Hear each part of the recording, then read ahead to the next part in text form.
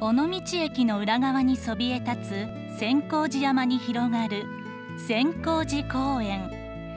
尾道のシンボルとも言われるこちらの公園のおすすめ散策ルートをご紹介します。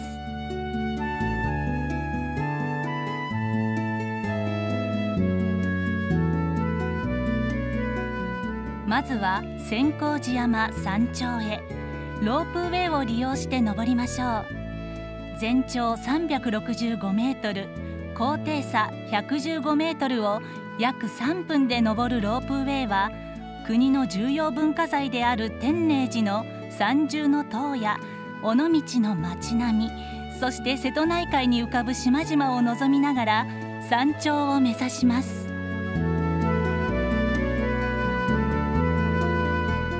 山頂に着いたら早速展望台へ。標高約140メートルから眺める尾道の町並みや瀬戸内海の景色はまさに絶景の一言。天気のいい日は四国まで見渡せるそうです。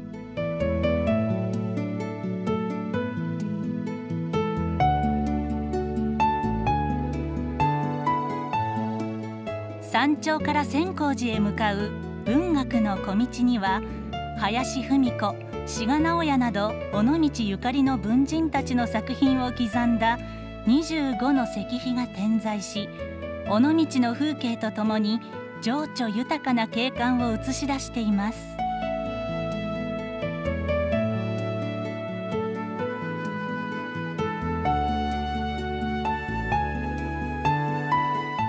長い石の階段を降りた先にあるのは約1200年の歴史を持つ千光寺。尾道の町を見守るように崖に突き出した本堂や煩悩を打ち消すと言われる108煩悩滅除大念珠がある33観音堂など見どころ満載。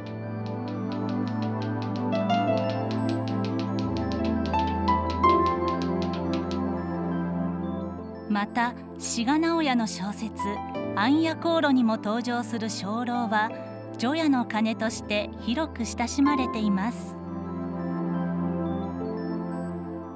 ここから市街地まで下山する道のりには文人ゆかりの施設が点在するので立ち寄ってみるのもおすすめです。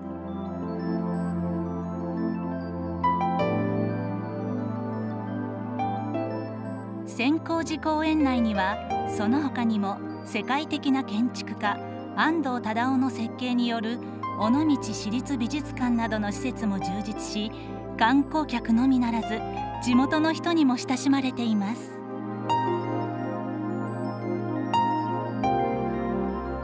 また夕暮れ時に展望台に戻れば黄金に輝く瀬戸内海が広がりその美しさはまるで映画の世界に飛び込んでしまったかのような感覚に陥ってしまいます。